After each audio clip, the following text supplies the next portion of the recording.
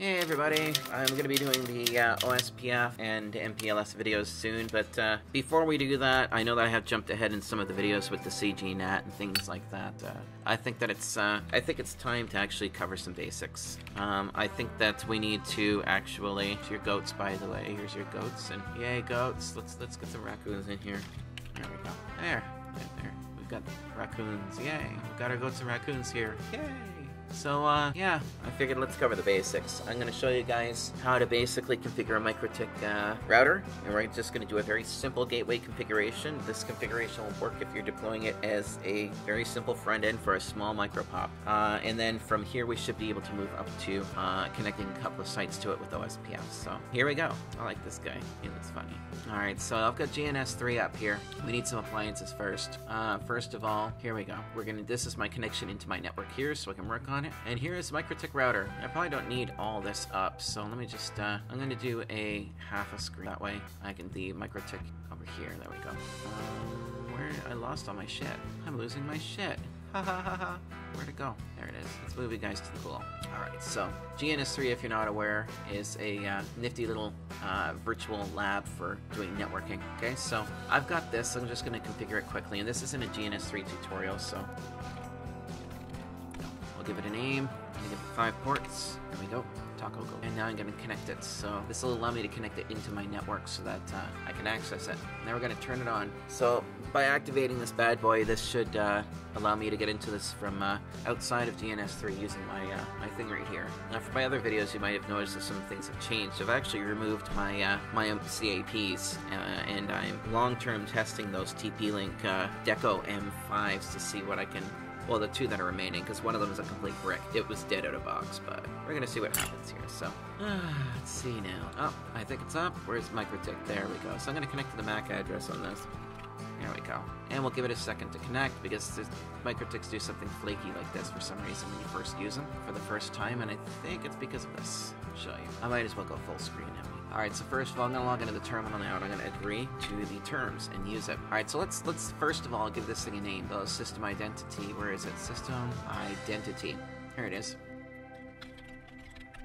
So this is our gateway zero. Okay, I've given it a name. Then the next thing that you should do is you should do your users. So get rid of the uh, the default account. I'm just gonna I'm even gonna put a password in here for the purpose of what we're doing. But never leave the admin account on there because if you leave the admin account on there, that's gonna be one of the first thing that the uh, hackers go after. They look for default usernames. Okay, it makes it easier because once you have the actual default username, uh, you can run it by uh, any kind of a brute force uh, tool like Claymore or John the Ripper, and um, yeah, you'll be able to actually like just run a hash or run a bunch of random passwords against it. So get rid of that and use your username, okay? So that's that part. The next one I would like to do is I'd like to go into IP services and disable anything that we don't need. We're gonna need API at some point. So what we'll do for API is I'm going to um, I'm just going to give it a nonsense IP so that uh, nobody can access it and then when we're, we're ready we would put our billing systems IP in here like so right? Okay so we've gotten rid of that. Now we need to go to tools Mac server and we want to make sure that the Mac Winbox server is uh, available on we don't want it available on all interfaces so let me go to the interface list here now. So interface list interface list and this is where we will create three. You can use my example if you want. This is kind of an arbitrary thing they're just lists. All right and we'll go pub being our customer. We can go CX LAN, like so.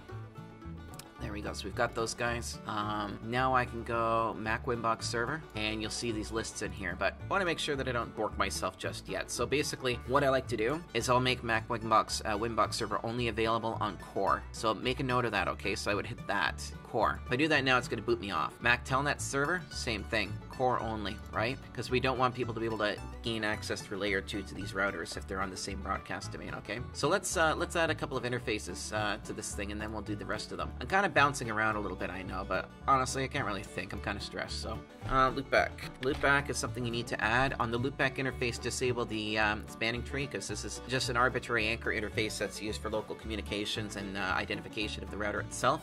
It's a fixed interface that you'll apply an IP address to that uh, will not change or vary. It's going to be basically the mailbox for this uh, guy. And I don't, I mean literal, like sitting at the edge of the seat. This is my address. Okay, so now we need our management interface and we need a last mile interface. Ha! You've already seen me do this before. Alright, so what I'm going to do is, because on this guy here, we're going to be using uh, ETH1 as our WAN port, so capital ETH, 1, WAN. I capitalize them and I do them like old Linux. So Ethernet 1, WAN, right? Anytime that I take an interface and I elevate it to have a purpose, I like to capitalize it so that I can look at it at a glance as, oh, that interface is important. And I like to label it too. So I'm going to log into this router now and watch. If I go to interfaces and print, you'll see capital ETH1 against all the lowercase ones, okay? So let's throw the rest of those ports in it because for our purposes today, um, the rest of these ports are just going to be going into the last mile. These are just ports that would go to feed customers. Pretty cool, eh? And I'm just going to stick port 2 on the management interface just for gigs. That way you've got uh, access to the local router, right? Okay. So now that we've got those guys in there, okay, I am going to go over to IP addresses and let's give it some IPs because this is critical. We're going to go based on that uh, network map design that I showed you guys. So first IP that I'm going to give this will be the loopback. 10.80.255.1, okay? We're going to stick that on the loopback interface. Next one. 10.80.1.1 slash 24. That's going to be our management interface, and I'm going to put management on there under comment there, you see? Watch my actions. I'm to try not to move too fast. And I apologize if there's a lot of noise. Remember, I live in a shithole, okay? Um, router ID.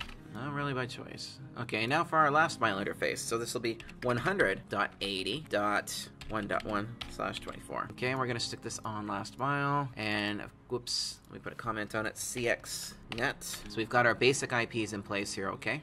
So I'm gonna go put our IPs up here. Now we're gonna wanna create a DHCP server. Oh, but wait, I jumped a step. You wanna have a DNS on here. So let's, uh, let's find out which DNS is closer. So I'm gonna try pinging uh, Cloudflare because that's what I love so much. It's 21 milliseconds to Cloudflare. This doesn't really matter, by the way. This is just a practice that I like to implement.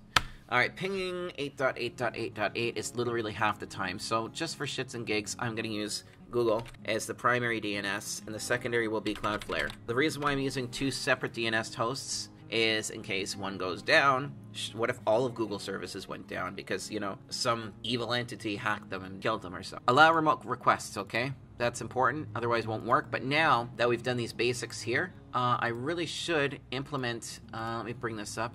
I really should implement a firewall on this thing. Now, the MikroTiks typically come with the default firewall. Good. Uh, it's basic, basic. But I honestly strongly suggest that if you're gonna uh, be running a WISP, um, put the basic fi uh, firewall in there. But check out Greg Sowell Consulting. He's got a wicked um, uh, firewall, so like a border firewall script that he's generated on his website. And Joshaven Potter also has his website, and he's got some really cool blacklist um, rules that you implement. Together, they make a very powerful firewall. Um, so the Greg Sowell one has DDoS um, mitigation. I want to say it works because personally, I've used his DDoS mitigation tactic enough times to know that it actually really does make an impact when you've got you know thousands, twenty thousand IPs coming at you, like with uh, ICMP traffic. Okay. Um, then with Joshaven's rules, it checks into DShield, Malcode, and um, DShield Spamhaus, and it'll actually pull blacklisted IPs from those servers in whatever interval that you set. Usually it's once a week, and it'll update the blacklist on your router. Um, it'll basically purge and re-update uh, the IPs within that blacklist so that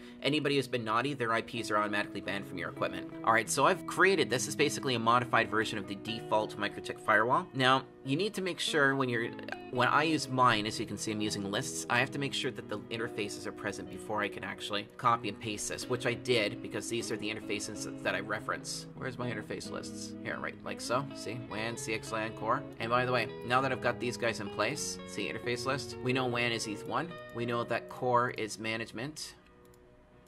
We also know that Core is loopback. And we know that the customer is last mile. So CXLAN, like so, right? Let's roll out a firewall. Okay, I'm just gonna get rid of that. If you need clarification, I'll answer in the comments below on what I'm doing. I, I'm trying my best to try to portray this, but see how we've got no rules here? First rule that's most important before it goes on the internet is your firewall. So let's open the terminal, and I'm going to log in again, and I'm going to paste.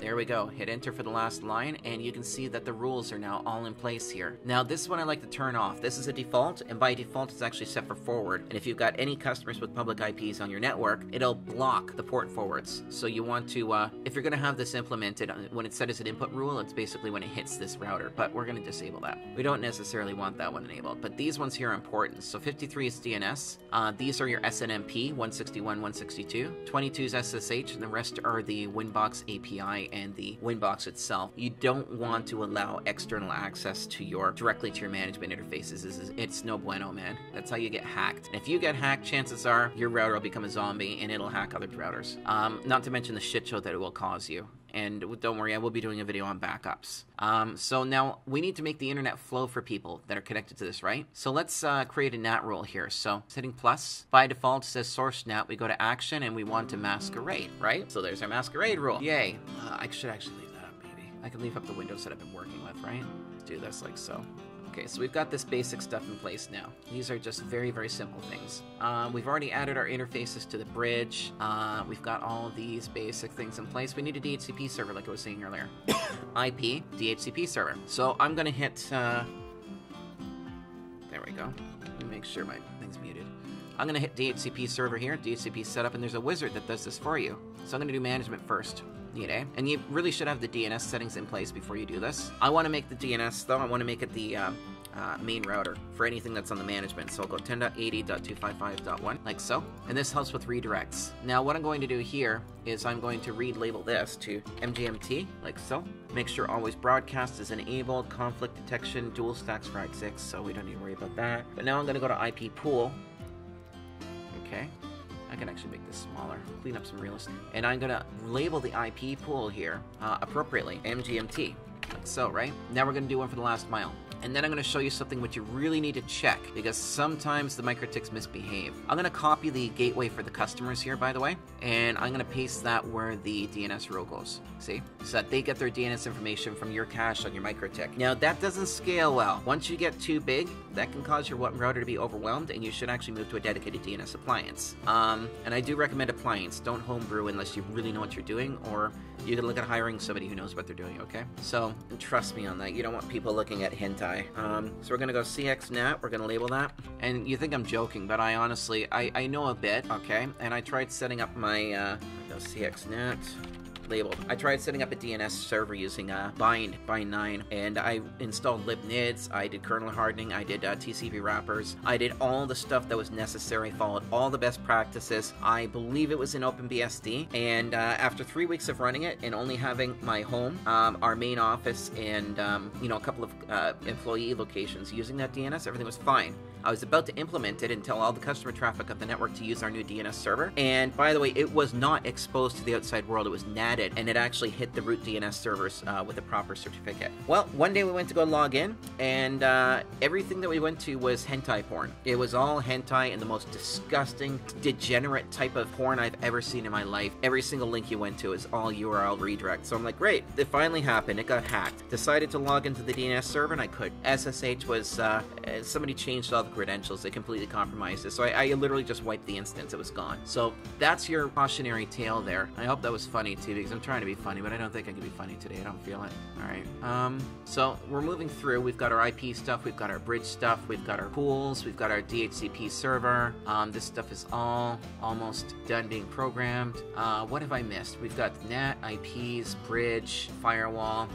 Um, we should do, uh, oh, let me just double check something here. I like using RoMON, by the way, because it allows you access to all sorts of stuff on your uh, network. It's like a layer 2 uh, framework for your MikroTiks to talk to each other. But the catch is, though, I'm going to add the WAN and I'm going to forbid it, like so, because you do not want WAN uh, to have RoMON enabled on it. And I have seen way too many upstream providers uh, with, you know, RoMON or uh, IP discovery enabled on there. And another thing is, is just for simple purposes, watch this. You can customize your um, uh, you can customize your discovery system. What I like to do while I'm setting things up is just do exclude, so not WAN. So it's going to allow me to discover on everything except for the WAN interface. And in turn, uh, it will not issue uh, any kind of link layer discovery out through the WAN interface, which is critical as well because you don't want people discovering that you're there. You don't exist. Mind you, you're going to say that I'm contradicting myself because if you look here, I'm allowing ICMP. Well, that's not a bad thing, and we can have that for our gateway router, and then we can uh, disable that once we have public IPs on here. So let's enable RoMON now. Oh, one second, sorry. Me RoMON inactive, ID not determined. Let's just, uh, there. When we go like this. Why are you being weird? I think it's because it's a uh, an instance running on my hypervisor here. So there. You don't have to do that, by the way. Usually, RoMON will generate its ID based on the MAC address of the device, so don't worry about that. So RoMON's enabled, and I will be doing a tutorial video on RoMON as well. So all that stuff is now in place, and actually for tracking purposes, I should take RoMON and put it over here. Remember, this is basic router configuration, and I'm trying to keep it also low. Um, what's another thing I need to show you? Uh, logging. Uh, so what I like to do for my logging is if you don't have a logging server, do this. So we're going to go under tools, or sorry, under system, logging, and I'm going to go to actions here, and I'm going to click on disk, and I'm going to allow it to do uh, 1500 entries, okay? And I'm going to allow it to make 10 log files. Now the purpose of this uh, is just simply so that if your router power cycles, you have all your logs. Because if your router power cycles currently, I'll click on log and show you. If it says memory, when this thing reboots, all of that's gone. You don't want that, right? So now I'm to go to critical. I'm to change it to disk. I'm to change error to disk. Bloody fingers work or I'll cut you off. I swear to God. Uh, here we go. Info. Warning disk. There we go. So now all the logging is going to go to disk for us. So that's another little thing that we need to have in place. And now I should probably set up like prep the OSPF. We're not going to do it just yet. We're just going to prep. Okay. So now I'm going to bring up this window here and we don't have any point to point stuff happening right now, right? I'm going to do another video shortly about the OSPF, which all of you guys want to learn. So first of all, we need to add the IP addresses for the subnets that directly participate in OSPF that are necessary for OSPF to function. And that's it. Don't put all all of your subnets in here. We're going to take advantage of a couple of cool abilities that the OSPF instance itself supports. All right, so let me go up here and get the router ID. I'm going to click on here. This is a slash 32, by the way. It's a OSOLO IP address. I'm going to stick this over here now so that the loopback interface becomes part of the OSPF. Next, I'm going to go to instances here, and I'm just going to put the name in here. Gateway 0 and I'm going to paste the loopback IP in here. Now, something which you should know is on every single one of your routers on your network, you may want to have redistribute connected routes and static routes on here. So I'm going to enable those. And on your gateway, always is type 1. I will explain the OSPF in the next video that I do that's about OSPF, okay? So we're going to hit OK here. That's all in place. Now, if we go to the main uh, window for interfaces, I could double click on here. You see it's DP for uh, dynamic uh, passive. See, if I hover over dynamic, I'm going to copy this actually. I'm going to double click and go copy. And now that generates a static entry and I'm going to hit OK. Now I've got a fixed static interface in there that will not go away. And as long as there is one interface operational within um, OSPF, if anything happens at any other part of the um, OSPF, uh, your convergence won't be lost. But we'll go into that after, okay? So that's all prepped now too. So just an overview, we've got our IP addresses in place here. We've got our public IP, which we're getting DHCP right now, our last mile IP address for the customers, and our router ID, which is the loopback IP IP to uh, identify the router, and here's our management uh, IP. And we've got our DHCP servers in place. Yes, we've got our DNS entries in place, which I think I skipped over that in the DHCP server. Before you're done with it, double check and make sure that these entries are populated, because sometimes they won't populate themselves. Okay, so we've got that. Uh, we've got our firewall, filter rules, we've got our NAT rule to make our, our router work, our IP pools, our logging, we've restricted access to the system. Um, feel like I'm forgetting some something important. Um. Later. I am not well. That's most of the basics. Well, and by the way, for remote access, we'll get into this in, in another video. For remote access, you're going to want to use a VPN to get into your router. So that way, if you're off of your network and you need to gain access to your uh, network for management purposes, you simply just have to start your VPN and call in. Don't open your service ports externally. You do not want people to be able to hit your Winbox. I don't care if you set up an ACL or anything on the external interface. If you don't have to have services uh, connected directly to your uh, uh your services, good. Set up VPNs. If there's something like a billing platform or um, some type of a um, management system or something that needs to talk to your router, then yes, your really your only option is IPACL, okay? And that means access control list. So I think that's everything that uh, needs to be in there. I'm trying to think if I forgot something, because I'm sure I fucking forgot something here. Oh yeah, well here's one thing by the way. Do a backup. I'm gonna do a backup, and I'm gonna put uh, site name first. So taco goat um, GW0 dash and then my initials Sarah Kerr and then the date which is uh, November 6 620 like so. And I'm not going to encrypt the first backup. I typically don't encrypt the first backup and then we can just download that. Just download it, it's good. Okay, so yeah, essentially that is the bare minimum uh, programming for your router. We will go into more advanced uh, items sooner or later. If there's anything I missed in the video, please shout it out in the comments, and I will copy and paste it into the description, but I'm pretty sure that's uh, the essentials that you need to get yourself going. I'm just, it's just nagging me that I think that I've forgotten something. I hate that. Actually, you know what, there is one thing that I could do to check. Watch this. I got terminal here and I can make this a little bit bigger. Here we go, and I can do uh, a export, and this will show me the full configuration of the router. Okay, so we've got our bridges, we've got our interfaces, Let's see here, uh, we've got our interface lists, wireless off, IP pool, our basic routing, interface uh, bridge port, yep, uh, IP neighbors, IP addresses, DHCP server, uh, DNS, firewall, and that and filter, service port. Yeah, I'm pretty sure that's most of it. All right, so I hope just, that you guys enjoyed today. Uh, it does take quite a bit to do these videos, so uh, feel free to uh, send me a contribution through PayPal or actually trying to set up a uh, rewards program on Patreon where when you're a Patreon, you actually get to see the videos before anyone else, which is uh, great because you'll also be able to directly talk to me and interact with me and uh, discuss things and whatnot. So, plus it helps me because, you know, it does cost a lot to make these videos. So, thank you everybody. I hope you enjoyed yourself. Like and subscribe below. Leave your comments. Keep it civil. Love you. Catch you later.